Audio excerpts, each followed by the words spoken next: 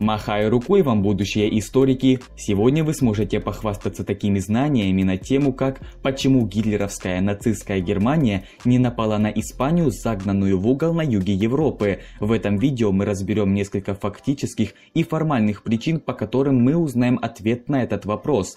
Поехали! Испания официально не участвовала во Второй мировой войне, несмотря на идеологическую близость, в частности, разделение мнения по антикоммунизму и фашизму. Такой режим в Испании сложился после победы националистов над республиканцами в гражданской войне. В этом вооруженном конфликте националистам активно помогали страны с ультраправым политическим уклоном – Германия и Италия, а видео про саму испанскую гражданскую войну вы сможете увидеть на моем же канале, кликнув на конечную заставку после этого видео. Ко власти в Испании пришел генерал Франциско Франко, который закрепил незыблемые дружеские взаимоотношения с фюрером Адольфом Гитлером. В знак признания помощи, полученной от Германии и Италии во время гражданской войны в Испании, режим Франка оказывал им материальную и военную поддержку, в том числе разрешив добровольцам воевать против СССР. Гитлер, в свою очередь, оценил этот знак солидарности, что стало его искренним камнем преткновения в его планах по Пиренейскому полуострову.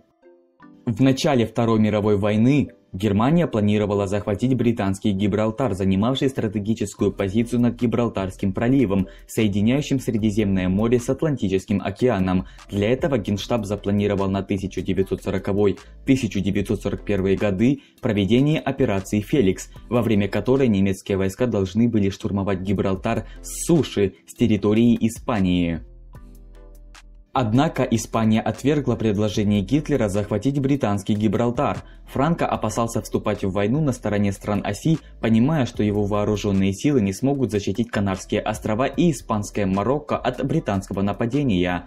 Позже Франко даже разместил полевые армии в Пиренеях, опасаясь возможной немецкой оккупации Иберийского полуострова.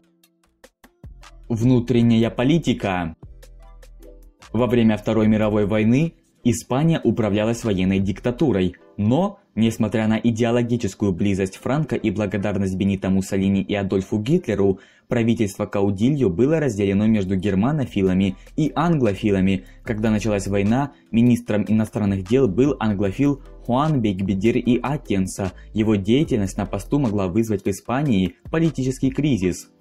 Ведь такой раскол между радикально разными лагерями привел бы к усиленному вмешательству во внутреннюю политику Испании со стороны Великобритании и гитлеровской Германии, чего, собственно, и опасался Франко. Это заставило лидера Испании заменить его 18 октября 1940 года на Рамона Серрано Суньера, стойкого германофила. Добровольцы Хотя официально Испания не участвовала во Второй мировой войне, но добровольцы из числа испанских граждан сражались за обе стороны в значительной степени, отражая идеологические предпочтения в недавно минувшей гражданской войне. Существовала испанская дивизия, участвовавшая на Восточном фронте, но также были и партизаны, отражавшие немецкую оккупацию во Франции. Хоть испанский каудильо Франциско Франко не вступил во Вторую мировую войну на стороне оси, он разрешил добровольцам вступить в немецкую армию при условии, что они будут воевать против большевизма, советского коммунизма на Восточном фронте, а не против западных врагов Третьего Рейха или населения любой страны Западной Европы. Таким образом, он смог одновременно сохранить отношения как с западными союзниками, так и с врагами Гитлера. Многие испанские националисты хотели отомстить СССР за помощь их противникам. Гитлер одобрил использование испанских добровольцев 24 июня 1941 года. Они стекали со всех регионов Испании. Первоначально испанское правительство было готово отправить на помощь Германии около 4000 человек, но вскоре выяснилось, что добровольцев более чем достаточно для формирования целой дивизии из четырех полков. Из добровольцев-летчиков была сформирована «Голубая эскадрилья», вооруженная самолетами БФ-109 и ФВ-190. Благодаря синим рубашкам дивизия обрела свое название «Голубая дивизия». Ее участие было основным со стороны Испании на немецко-советском театре военных действий. Дипломатия с самого начала Второй мировой войны Испания выступала на стороне держав оси, Помимо идеологической близости, Испания задолжала Германии 212 миллионов долларов за поставки во время гражданской войны. 26 марта 1939 года правительство генерала Франко подписало антикоминтерновский пакт, а в июне 1940 года, после падения Франции, посол Испании в Берлине представил меморандум, в котором Франко заявил, что готов при определенных условиях вступить в войну на стороне Германии и Италии. Вначале Гитлер не был сильно заинтересован участием Испании в войне, поскольку был уверен в победе. В августе 1940 года, когда Берлин стал серьезнее относиться к участию Мадрида в войне, возникла проблема. Германии потребовались воздушные и военно-морские базы в испанском Марокко и на Канарских островах, что не устроило Франко. Гитлер обещал, что Германия сделает все возможное, чтобы помочь Испании и признает испанские претензии на французскую территорию в Марокко в обмен на долю марокканского сырья. Франко ответил тепло, но без каких-либо твердых обязательств. Гитлер и Франко встретились только один раз во французском Андайе 23 октября 1940 года, чтобы зафиксировать детали союза. Испания была зависима от поставок нефти из США. Вашингтон по просьбе Британии ограничил поставки топлива испанцам. Не имея сильного военно-морского флота, любая испанская интервенция неизбежно столкнулась бы с нехваткой нефти. Полагаться на союзников, Германию и Италию, в этом вопросе было бесполезно, так как они и сами испытывали дефицит топлива. В декабре 1940 года Гитлер снова связался с Франко через посла в Мадриде. Германия попыталась заставить Испанию согласиться на пропуск через свою территорию немецких войск для нападения на Гибралтар. Франко отказался, сославшись на опасность, которую Соединенное Королевство все еще представляет для Испании и ее колоний. Несмотря на то, что во время войны Испания не была воюющей стороной, открытая поддержка держав оси привела к периоду после военной изоляции страны. В частности, ряд стран отозвали своих послов. Многие страны присоединились к торговому эмбарго. Президент США Франклин Рузвельт, в свое время предоставивший Франко гарантии в том, что Испания не пострадает, умер в апреле 1945 года. Преемник Рузвельта Гарри Трумэн, а также новое правительство Британии и Франции были менее дружелюбны к Франко. Франко не мог найти себе места и все-таки решил действовать как суверенная держава. Военные действия Испания планировала оборону страны. В 1940 и 1941 годах большая часть испанской армии находилась на юге страны на случай нападения союзников из Гибралтара. Однако со временем, по мере роста интереса немцев к Гибралтару, Франко постепенно передислоцировал части дивизий в горы вдоль французской границы на случай возможного вторжения Германии. Когда же стало ясно, что союзники одерживают верх в конфликте, Франко почти все свои войска расположил на французской границе, получив личные гарантии от лидеров союзных стран, что они не будут вторгаться в Испанию. Франко выбрал сторону союзников. Гитлер в свою очередь понял, что Испания больше не должна являться дипломатическим союзником Германии и составил план по вторжению в Испанию.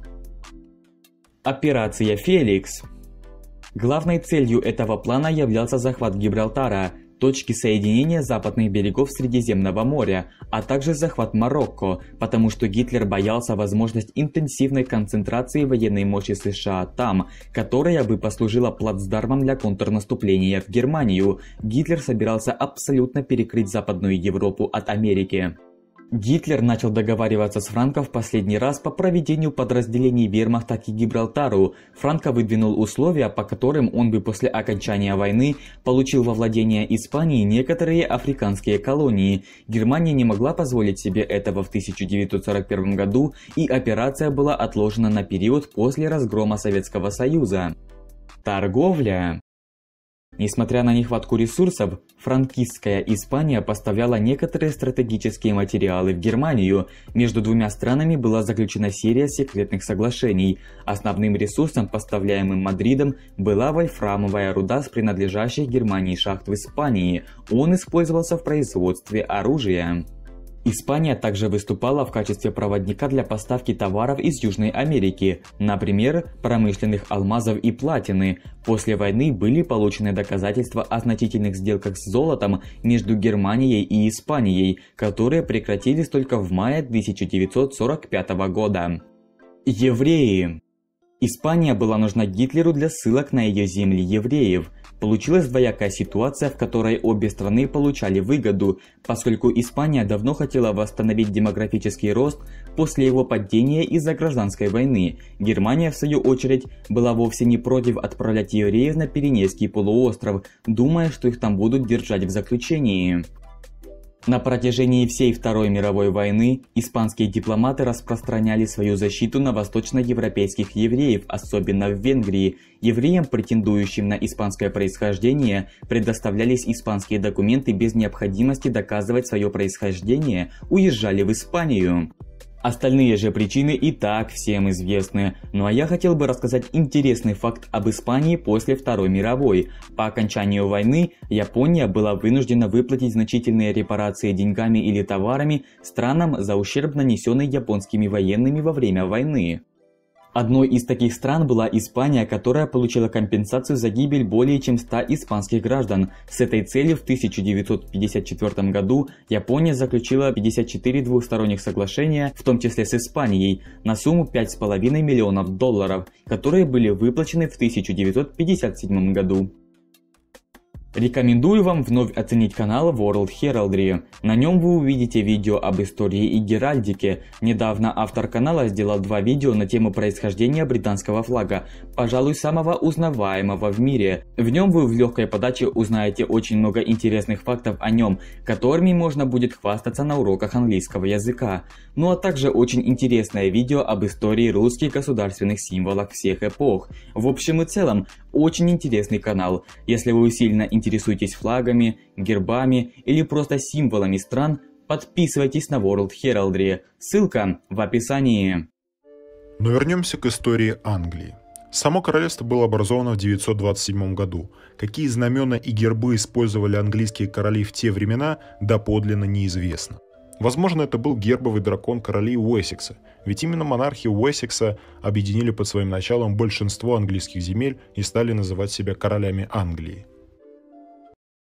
Ну а на этом все. 2000 лайков и новое видео. Также пишите, правильно ли делала Испания и Сан-Франциско Франко, лавируя между интересами Испании, Германии и западных стран. Ну и конечно же, пожалуйста, подпишитесь на канал и поставьте колокольчик, если не хотите пропускать мои видео, в том случае, если они показались вам интересными. До скорого!